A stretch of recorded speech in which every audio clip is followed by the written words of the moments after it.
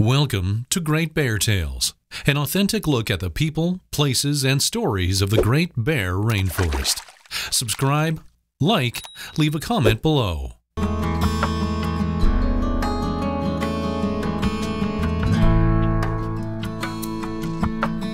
The Spirit Bear Lodge is a community-owned business. It's 100% owned by the Kitasoo people. It's really an amazing wildlife wonderland and so that in, in combination with the culture makes it a really extraordinary proposition for people from around the world. Despite its moniker, Spirit Bear Lodge is far from just about Kermode bears. This is prime West Coast grizzly bear habitat, and nowhere is the grizzly conservation movement more alive than in Klemtu and the Great Bear. So this is our, um, our watchman cabin. So we get our uh, guys to do the um, patrols and monitor the area. But um, these guys are specifically for the uh, watchman program to monitor the traffic that come in and out of here. So the commercial tourism operators and the private operators that come through. Um, just making sure that they abide by our management plans and making sure they're not displacing any bears. Calm waters and untouched ridge lines, the Mussel Inlet area is the traditional home of the Xai'xais and some of the finest grizzly viewing on Earth. So, uh, so we're just going to load up and then we're going to go around the corner or uh, on the other side there and um, we'll anchor the boat and we'll, we'll go for a walk up and hopefully um, get some good bear viewing at the bottom. Uh, we'll probably wait it out for an hour or so and we'll see if any bears will come out and um, but we'll look for a good place to sit down and um, yeah, just be, be predictable and the bears are going to know where we're going to be and wait it out. Yeah, and we'll wait it out. Perfect. Let's do it. Okay. A little bit of the history of this place. Um, um, of course, you know, Klemtu has um, the two nations, the Kitasoo and the Xai'xais. So the, this area is occupied by the Xai'xais um, uh, because of the, the resources and the salmon and um, just all the wildlife and the game that come through here. All right, just landed our dinghy outside here. This is the Mussel River behind me. Some of the finest grizzly bear viewing on the west coast. So we are in uh, Mussel Inlet, um, otherwise known as Laik in our language. So Mussel is one of the um, kind of one of the prime, one of our prime viewing areas for grizzly bears, but originally a village site for the Xai'xais people.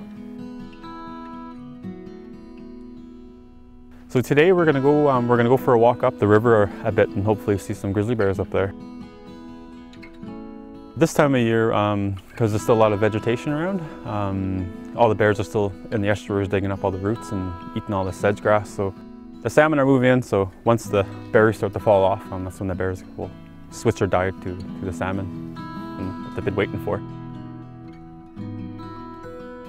Really heavily used, heavily used trail. So any bear that comes down or comes down the mountain or goes to feed on the vegetation, they all use the same trail. Um, sometimes as they're rubbing, they'll turn around and they'll bite the tree or they'll claw the tree.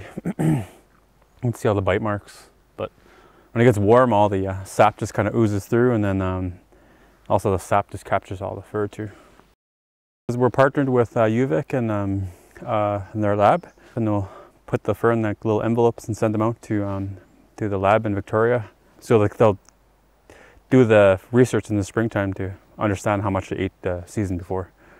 Usually when you find um, bear rub trees, you find kind of a stomp trail. So you can see a little bit of the impressions here. Bears as they're walking through. So as the bears are walking through, they'll twist their pads and they'll step in the exact same spots on the way through.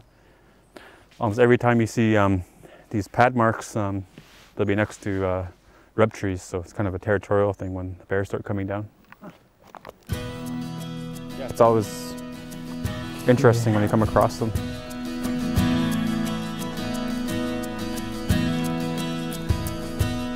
We're right smack dab in the heart of the Spirit Bear Conservancy. This is an area that was set aside in the 1990s to protect Spirit Bear habitat. Uh, and we're right next door to Fiordland Recreation Area, which was habitat set aside for grizzly bears. And so all around us, literally, um, you know, on our doorstep, is some of the most magnificent wildlife anywhere in the world.